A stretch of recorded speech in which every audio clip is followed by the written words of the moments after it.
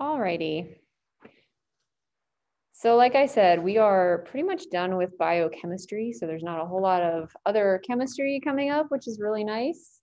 We're gonna go back to some kind of cellular stuff. So this unit is actually, I don't know, in my opinion, one of the more interesting ones. It's about genetics. So genetics are often of interest to people because it's kind of easy to uh, relate to. You know, you have, you know, characteristics from your mom and from your dad and how those all come together can be pretty fascinating. Um, we're going to start with a less exciting topic, but the basis of genetics essentially. So uh, this first section, which um, is actually really straightforward considering we already went over mitosis, is going to be about meiosis, a very similar yet slightly different uh, process for creating uh, gametes, and I'll talk about what those are.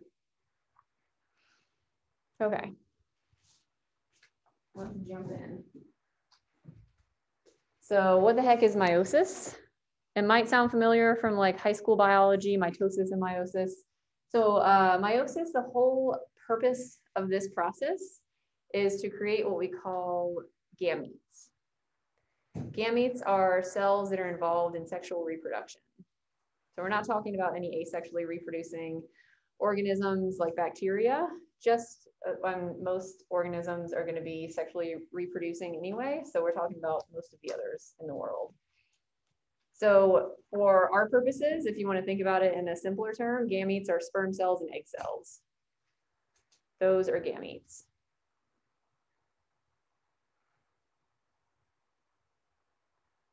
And then the gametes will come together and fuse, and what they form is a zygote. And we'll talk more about that in just a minute. Basically, a new person. So, one cell, the very beginning of a new person is a zygote, or a new whatever animal you're talking about.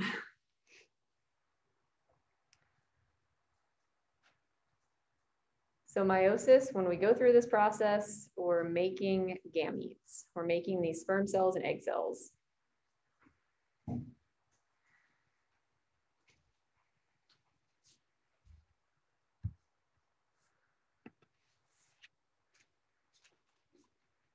Mitosis versus meiosis, uh, some similarities and dis uh, differences. The stages conveniently have the same names. So you have prophase, metaphase, anaphase, telophase and meiosis and mitosis. And it's in the same general order. So if you remember that same, that general order from mitosis, you're already kind of halfway through the process. And the same general things happen. There's a couple of special things that happen in meiosis that we'll talk about.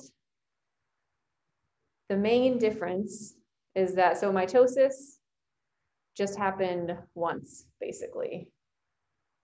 So just one round. Meiosis, actually, if you start with one cell, it's gonna undergo two rounds of division. So if you remember mitosis, we were splitting one cell into two, right? And those two cells in mitosis were identical. They were clones of each other. So final result of mitosis, two cells, cells are identical, and they each had two copies of the DNA. With meiosis, the, the two cells that are originally formed then also undergo division. So you get four cells. So you have two rounds of division in meiosis.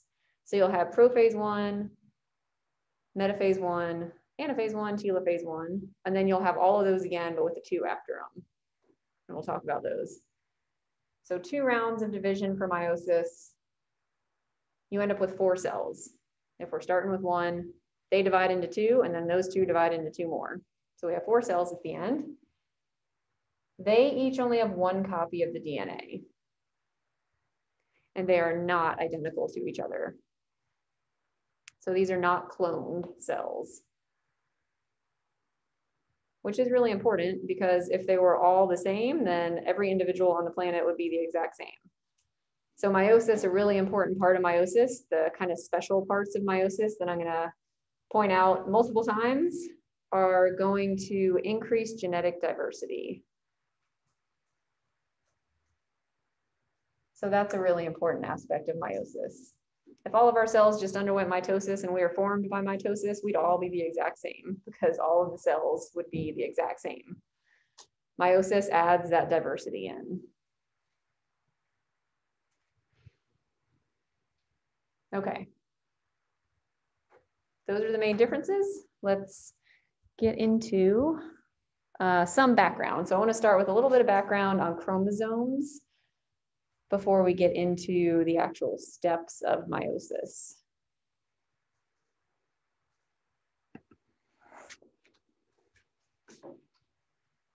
First, homologous pairs.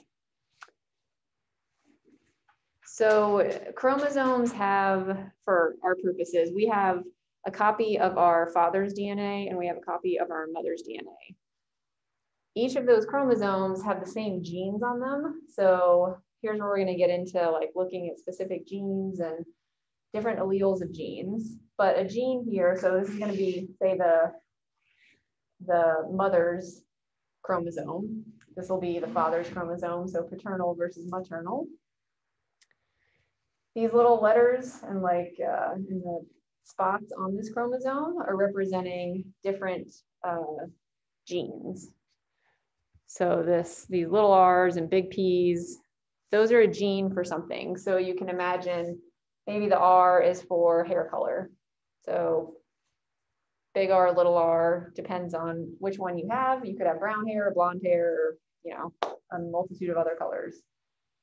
This might be eye color, so a gene for eye color. So you have the same genes on the mother's chromosome and the father's chromosome, but they can be different forms of that gene, which is an allele.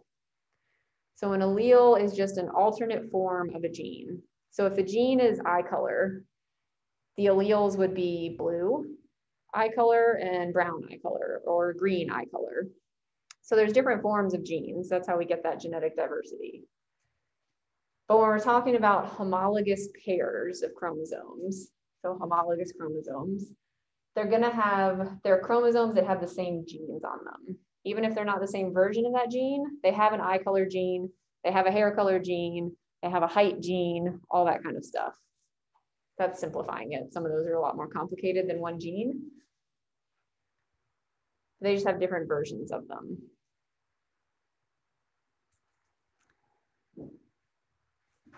So the homologous chromosomes are going to be, you have one chromosome or one set of genetic material from your father and one from your mother. Those are the homologs. And we'll talk more about this if this doesn't make perfect sense as we get into meiosis and then definitely as we get into um, some of the genetics like Punnett squares and all that kind of stuff, we'll talk about homologs again.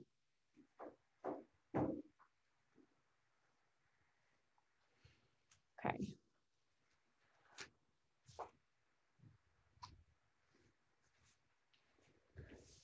So now two really important terms as we go through meiosis are haploid and diploid. So I mentioned that meiosis results in cells that only have one copy of DNA. The term for having one copy of DNA or one copy of each chromosome is haploid. And that is usually indicated by a little, little n. So if you see one little n, that means it's haploid, just one copy of the DNA.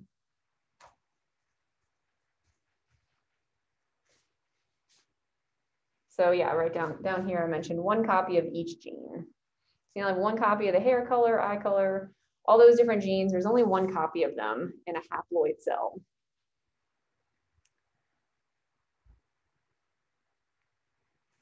In a diploid cell, as you might imagine, there's two copies. So we note, denote that as 2n. So if you see a 2n, that means there's two copies of each gene. Two copies of each gene in a cell, diploid.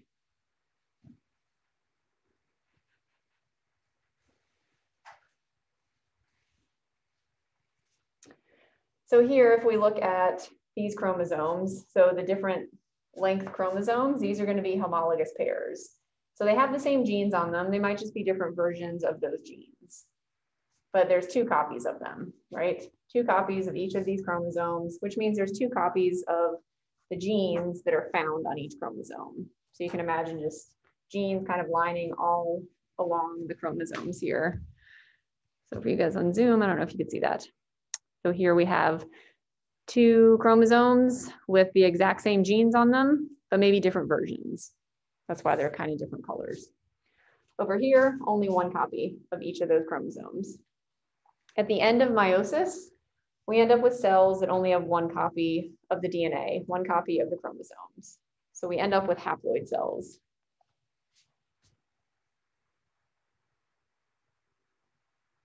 Yeah, okay. So haploid, diploid, you'll see those terms again.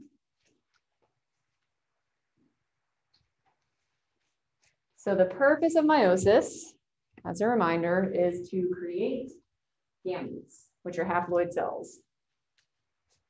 We're making gametes, which are those for, if we're relating it to humans, sperm cells and egg cells, the reproductive cells. An egg cell only has one copy of DNA. A sperm cell only has one copy of DNA. The types of cells that go through meiosis are called germline or reproductive cells.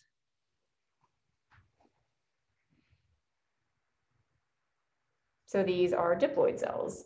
So we're going from a diploid cell, the reproductive cell, and we're cutting the number of chromosomes in half, essentially, through meiosis to create the gametes.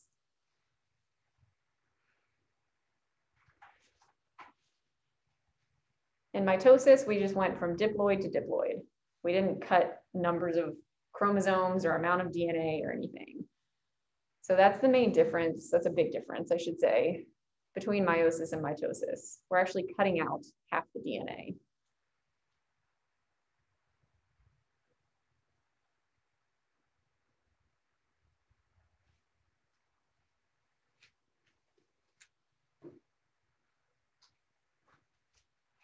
Let's talk briefly about what happens at the cellular level with sexual reproduction. So when I say sexual reproduction, this basically is just a reproduction that involves an alternation between meiosis and fertilization. So we're going back and forth between we're creating haploid cells, those two are joining and we're creating a diploid cell. And then some of those cells will go through meiosis. You create haploid cells, those fuse again, form diploid cells. So I'll go through this um, based on this diagram down here. So we're kind of alternating between haploid and diploid. So yeah, two haploid cells are gametes. Those are going to be sperm and egg. So haploid sperm, haploid egg, they only have one copy of DNA each. They're what's created via meiosis, which we just talked about. We'll talk about how that's done in a minute. But we'll imagine we've already gone through meiosis.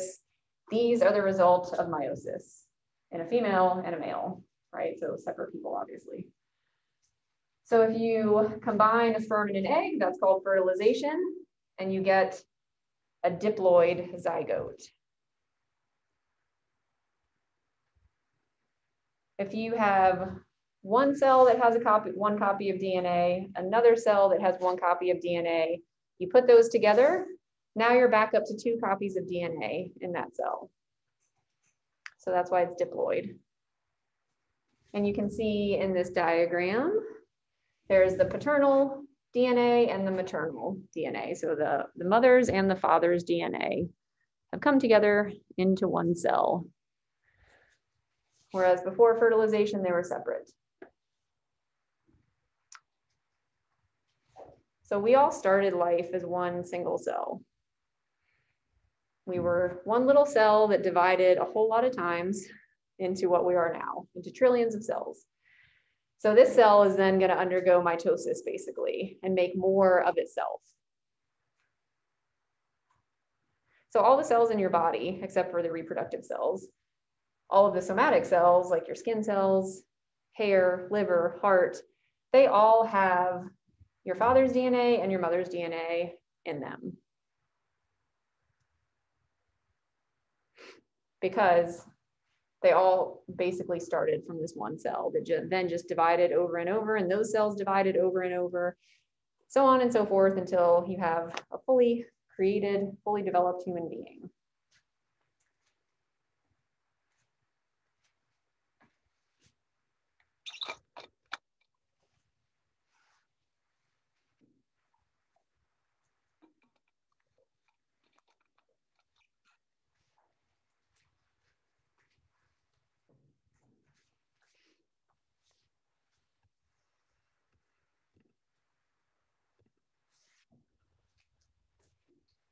So here's something to think about. Why can't gametes, so the, the sperm and the egg, why can't they have two copies of DNA and just undergo mitosis so we don't have to deal with meiosis because they're created via meiosis, right? So why can't they just have two copies of DNA? What would be the issue there? If sperm cells and egg cells had two copies each. Kind of, yeah. So they when they fuse, you'd have double the amount of chromosomes, right? So with each time, each time a sperm and egg would fuse together to fertilize, you'd be doubling the amount of chromosomes. So we'd have an insane number of chromosomes basically in our bodies. So we have to, in order to keep the same number of chromosomes, which is um, 46 in humans, we have 46 chromosomes in pretty much all of our cells. In order to keep that number the same, we have to cut them in half each time in order to create a new human because you have two individual haploid cells fusing together. So if you have two cells fusing together and say they're diploid, so they have two copies of DNA, when they fuse together, you'd have four copies of the DNA. And then you'd you wouldn't be able to basically keep the same number of chromosomes. And an incorrect or um, irregular number of chromosomes can cause issues um, from a, a genetic standpoint. So we want the same number of chromosomes. We want 46 chromosomes. So yeah, it's an issue if you're just if you just keep doubling the chromosomes each time, that is going to overload our cells essentially with chromosomes. So we have to, we have the doubling um, during fertilization, then we have to cut that in half again before fertilization can happen again. Okay. So yeah, that's just basic, yeah, kind of basic math, thinking about it from a, a chromosomal standpoint.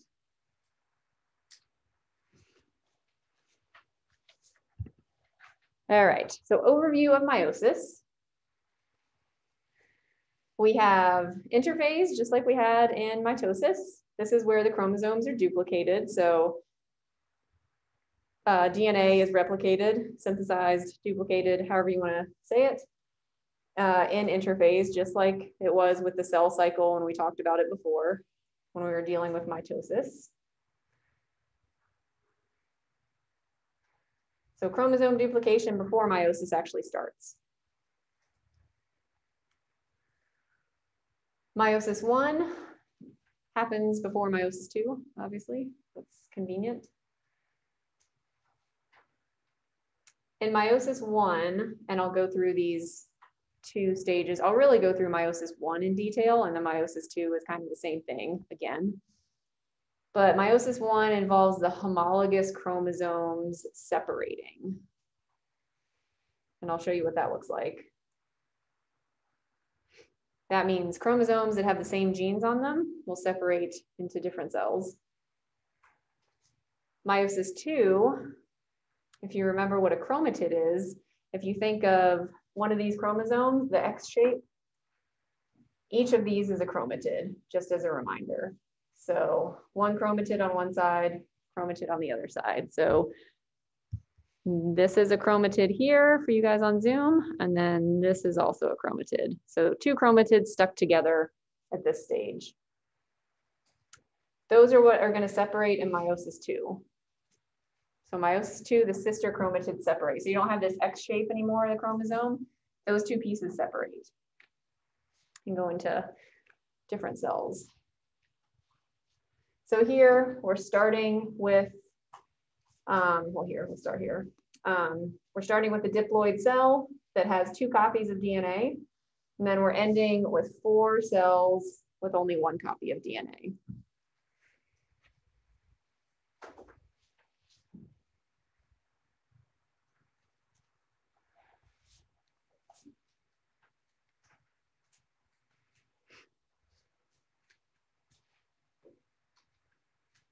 Okay, so let's talk about, like I said, I'm going to talk in detail about meiosis one.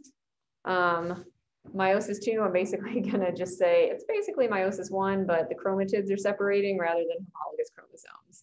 There's some really important steps that happen or events that happen in meiosis one, sort of at the beginning in prophase and metaphase. Those are the two big stages of meiosis where genetic diversity is introduced.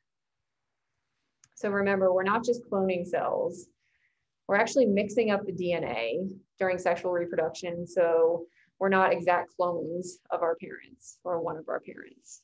We have a mixture of characteristics from both of them. And this is where that happens partially, prophase one. Okay, so what happens in prophase one? The homologous chromosomes are gonna pair up, so they'll find each other. So here we'll imagine the blue is the paternal, uh, the father's DNA, red will be the mother's DNA. Those two chromosomes that have the same genes on them from the dad and from the mom are gonna find each other and pair up. So here, for you guys on Zoom, the blue will be the father's DNA, red will be the mother's DNA. They'll come together and form, um, so the pairing up is called synapsis. And what forms is called a tetrad. Tetra means four, so four individual chromatids is what that's referring to. So there's one, two, three, four. One, two, three, four, two chromosomes, but four chromatids. That makes a tetrad. So they find each other and pair up.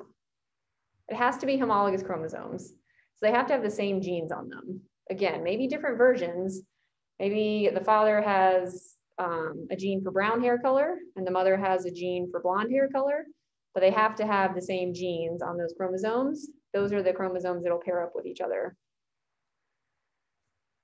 And then a really cool event happens where those chromosomes switch and trade DNA with each other. And that's called crossing over. So homologous chromosomes are exchanging little segments with each other. So you can see the crossing over process here. So they're little, I don't know what you want to call them, arms or legs of the chromosomes actually cross over and then they switch segments. So here you have some of the mother's DNA now on what was the father's chromosome and then vice versa, the father's DNA on the mother's chromosome. So those are switched. This is why they have to be homologous chromosomes. They have to have the same genes switching with each other, right? If these were different chromosomes and had different genes on them, then some of the cells wouldn't have genes for say hair color if they switched and they weren't both containing hair color genes, for instance. So they have to have the, they have to switch the same sections, which have the same genes on them. They'll just mix up the variety of those genes. Okay, so yeah, adding genetic diversity. Circle that and highlight it and underline it and know that it happens during crossing over and that that happens during prophase one. The sites where they cross over are called chiasmata, so just another term. But this area here where you have the recombination are called the chiasmata. Down here. All right, in addition to that, just like with prophase in mitosis, the nuclear membrane starts to break down. The nucleus is where all the DNA is. So it has to break down in order for the DNA to separate to either sides of the cell because eventually we're going to slice the cell in two. But what you want to remember from prophase one is the crossing over, well, the synapsis as well as the crossing over. But crossing over, I'll definitely ask you guys about. That's one huge point at which we add genetic diversity to a species.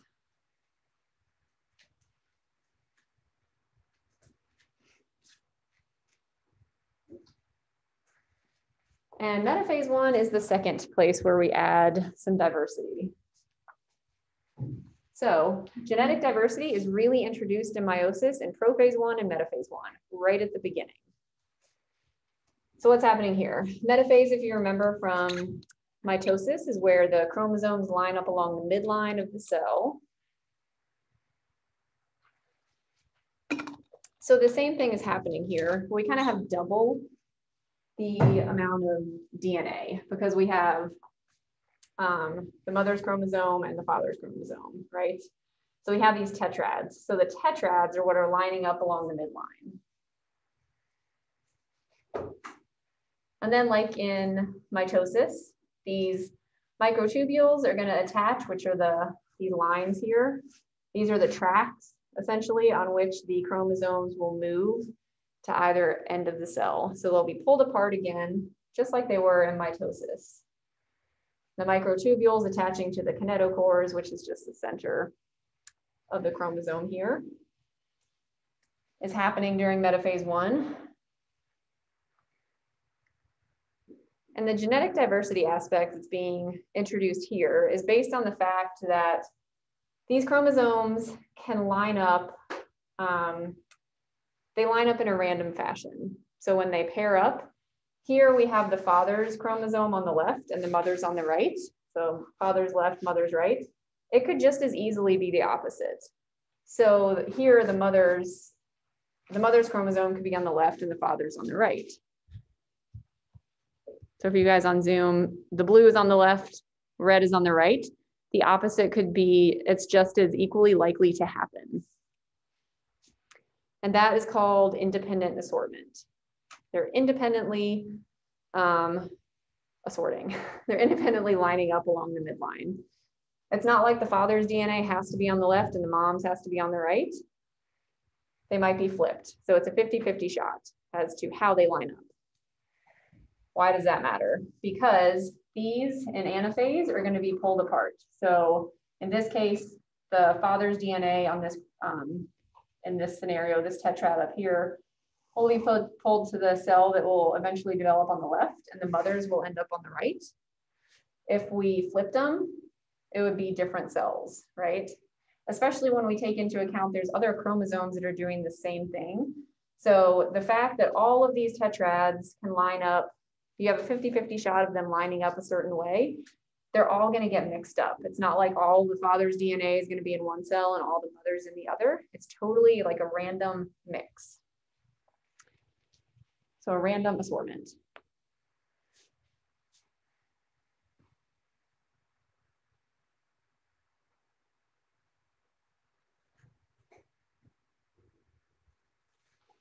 Okay, so now anaphase the tetrads are separating.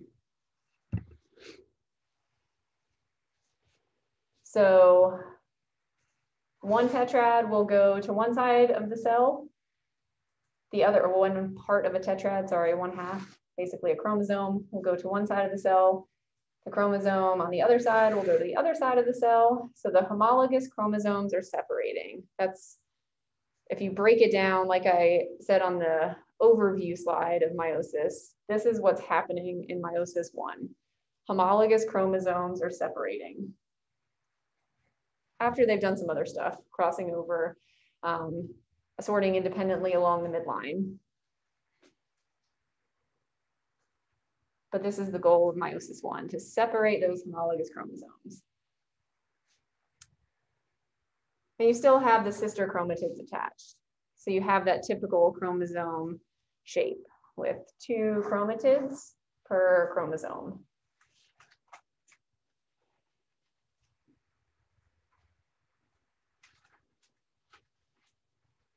All right, so who remembers what the last stage would be here after anaphase? Telophase. Telophase, yep, exactly. So telophase and cytokinesis, we are just separating cells basically.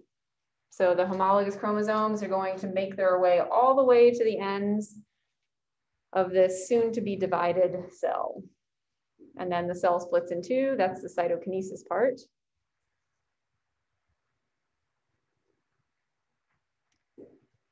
And at the end, you have two cells, right? So we started with one, we've only gone through one round of division. So we have two cells and they're haploid. So they only have one copy of each chromosome.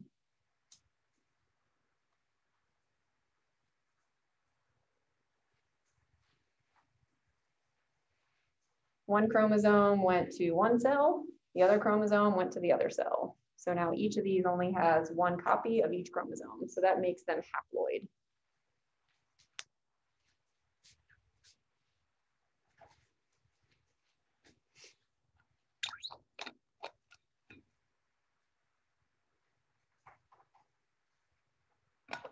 And that's the end of meiosis one.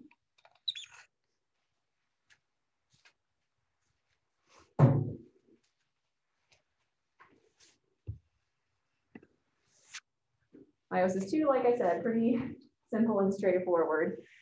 Um, I didn't even go into a ton of detail. I have a diagram here if it's helpful to you to see meiosis two, but you just go through all the phases again, prophase, metaphase, anaphase, telophase, but they're all twos. There's nothing special about adding genetic diversity in this round. Yes. Okay, so if it's like prophase two, does it happen two times? Uh, Or you go through prophase. First phase and then go through the second. Yes, exactly. So you go through prophase one first and then, well, prophase, metaphase, anaphase, telophase one, and then you go prophase, metaphase, anaphase, telophase two. Yes.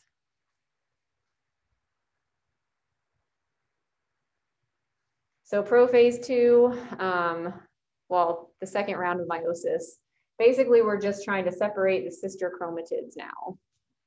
So we have those chromosomes that are this typical X shape.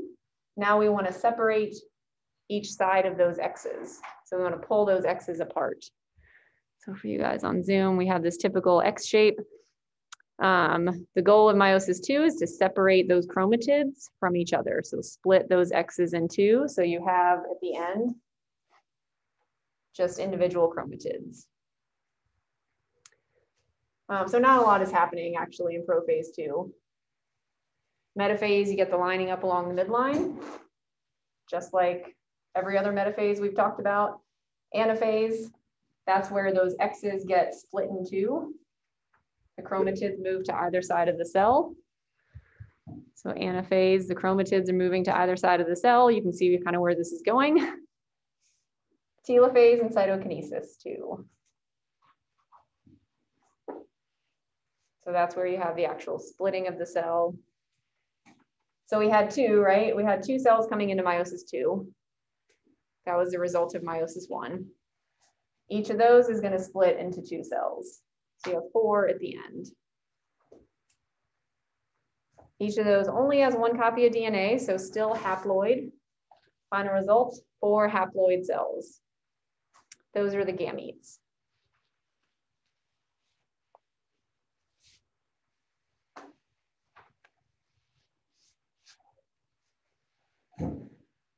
Good. Do you guys have any questions about meiosis two? I know I kind of breezed through it, but it's essentially the same as, in a lot of ways, as mitosis.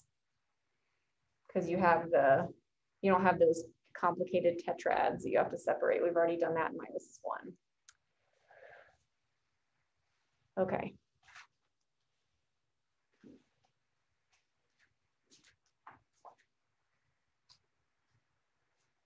I'm not going to go through these diagrams. If these are helpful to you, I put them in here. This is from, I'm pretty sure from your textbook. It might be from another textbook. I can't remember where I got it. But this details the different stages. Here's meiosis one. So you have, well, interphase, and then uh, prophase with the tetrads lining up or pairing up. Metaphase where they line up along the midline anaphase where they get pulled apart. So this is just kind of a different view of it. Like I said, if it's helpful, I know it has kind of a lot of detail on it, but some people like a little bit more detail. Um, and then meiosis two.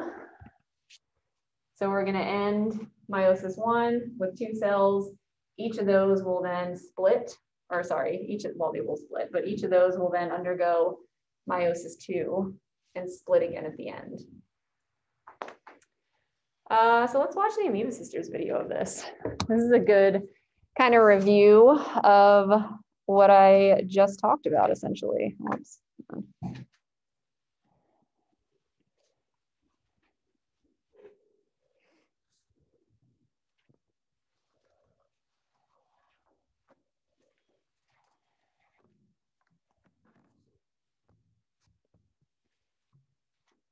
we offer instant, free, and unlimited certificates of entry. I don't need to hear that. All have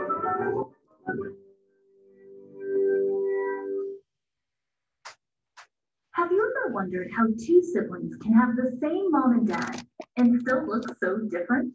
Well, today we're going to talk about a process that makes that possible, a process called meiosis, not to be confused with mitosis, which sounds unfortunately similar.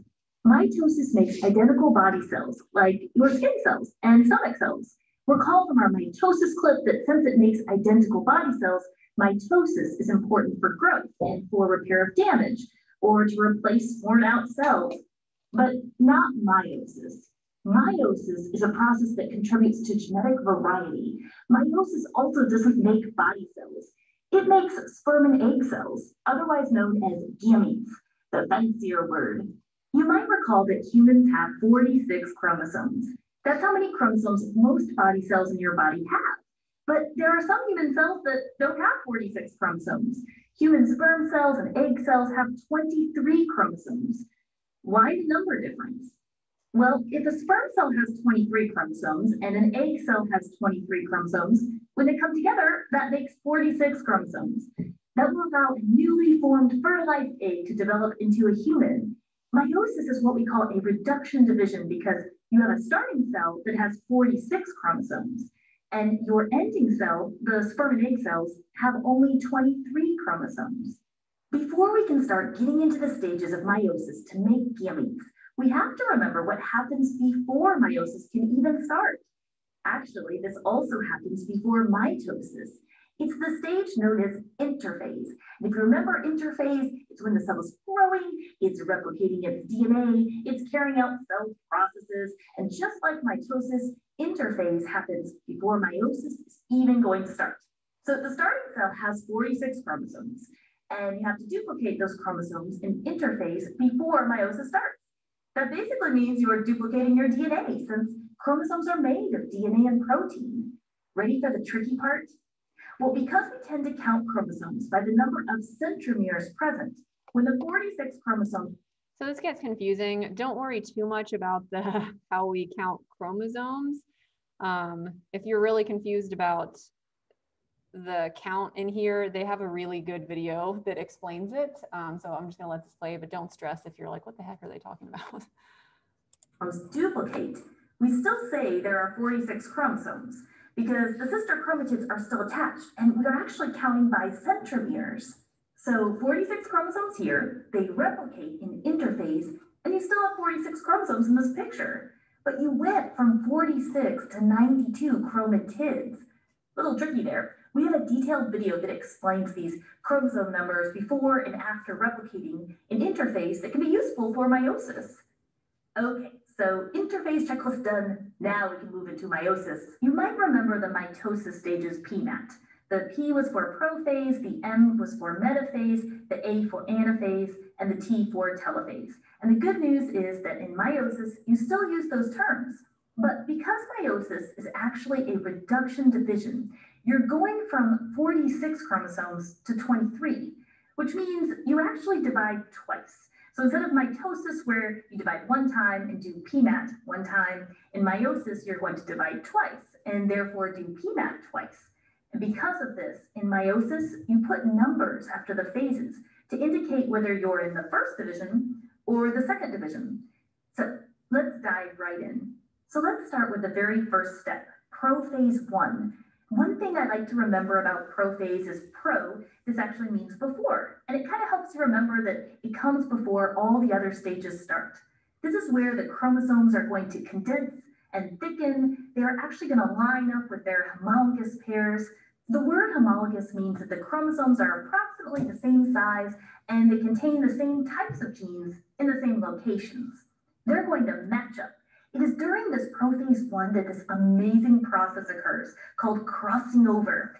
Now I know crossing over probably sounds like something very different, but this is actually a really awesome process because this is when the chromosomes, they're lined up in homologous pairs and they have this way that they can transfer their genetic information and exchange it between each other. It's kind of like these chromosomes flop over each other and they do a little genetic information exchange here. It makes for what we call recombinant chromosomes, which can eventually contribute to the variety that we were mentioning that siblings can have even when they have the same parents. More about that later. Now we move into metaphase one. In metaphase one, think of the M as standing for middle. The chromosomes are now going to be in the middle of the cell. It's a little bit different though from mitosis because these chromosomes are going to be in pairs in the middle of the cell. So it's not a single file line, they're in pairs in the middle. Now during anaphase one, think of A for away because the chromosomes are going to be pulled away by the spindle fibers. Then we end with telophase one, where you have two newly formed nuclei, and it becomes obvious that you're going to end meiosis one with two new cells. Cytokinesis follows with splitting the cytoplasm, but we're not done yet. On to meiosis two. The very first step in meiosis two is prophase two. It's not going to be nearly as eventful as it was in prophase one, though, because they're not going to have homologous pairs of chromosomes. They also are not going to have this amazing process called crossing over that doesn't happen again in prophase two. You have your chromosomes and the spindles are starting to form like they did in prophase one, but prophase two is just not as eventful of having that process of crossing over. In metaphase two, remember think M for middle, the chromosomes are going to line up in the middle. This time though, they are in a single file line. They are not in pairs like they were in metaphase one. Anaphase two, remember A for away, but this time it's the chromatids that are going to be pulled away by the spindle fibers. In telophase two, you can see the nuclei reforming, and you can also see that the two cells have divided. There's going to be four cells forming. Cytokinesis will follow to completely split the cytoplasm. Now, keep in mind that meiosis in males produces sperm cells, and in females it produces egg cells. Because of independent assortment and also crossing over, you're going to have variety. For example, in a male, the four sperm cells that are produced each time, they are all different from each other. They're also different from the starting cell because the starting cell had 46 chromosomes and the ending cells only had 23. So they are not identical to the original and they are not identical to each other. This is going to lead to variety, a reason why two siblings with the same parents can look different from each other. They still developed from a unique egg and a unique sperm cell that came together. One last thing to think about. Scientists are often looking into the process of meiosis because sometimes the chrom Okay, we'll stop there. I'm going to talk about some issues with meiosis on Friday, but our time is up. So I'll see you guys then.